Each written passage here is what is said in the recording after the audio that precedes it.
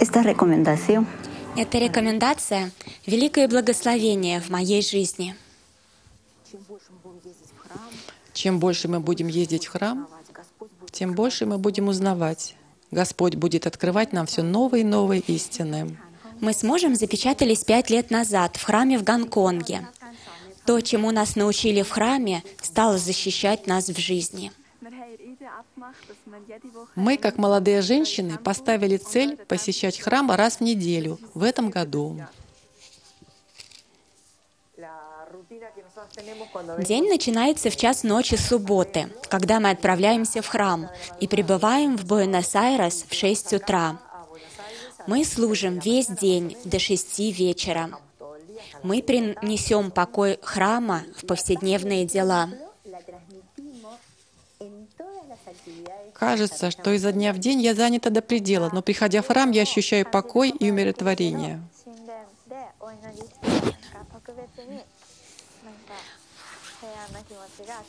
Храм Своей очень многое значит поездке. для меня, потому что, придя туда в первый раз, я почувствовала влияние Святого Духа.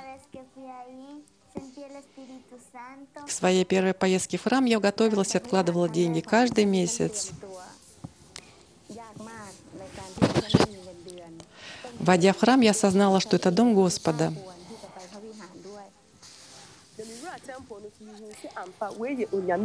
Я свидетельствую, что храм — это источник счастья. Я знаю это.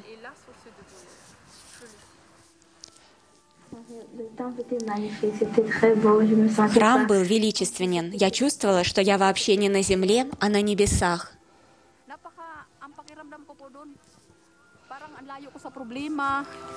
Я свидетельствую, что храм — это источ- источник счастья. Я знаю это.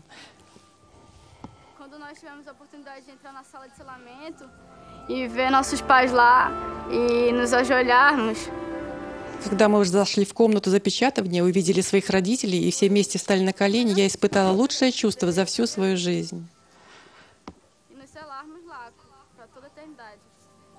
Мы запечатались на всю вечность. Когда мне было 10 лет, моя мама умерла от рака. Было очень трудно, но когда я начала узнавать от миссионеров о семьях, которые запечатались в храме, мне по-настоящему захотелось попасть в храм. Мое первое посещение храма было просто чудесным. Я чувствовала Дух Господа сильнее, чем когда-либо прежде. Я взяла имя мамы и чувствовала, что она улыбается мне сверху, говоря, «Спасибо тебе большое за то, что ты это делаешь». Храм помогает семье быть более единой. И когда мы все вместе, то можем быстрее расти, помогая друг другу духовно. Посетив храм, я ощутила утешение в час беды и даже отчаяния. Я наняла сиделок для своих детей и поехала одна. Я знаю, что у Небесного Отца есть план для меня, и Он даст мне ответы.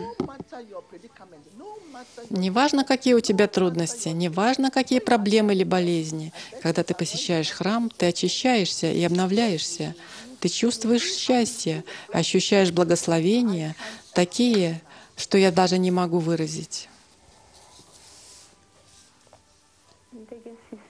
У меня было шестеро детей. Они погибли 12 января. Помню, как произошло землетрясение.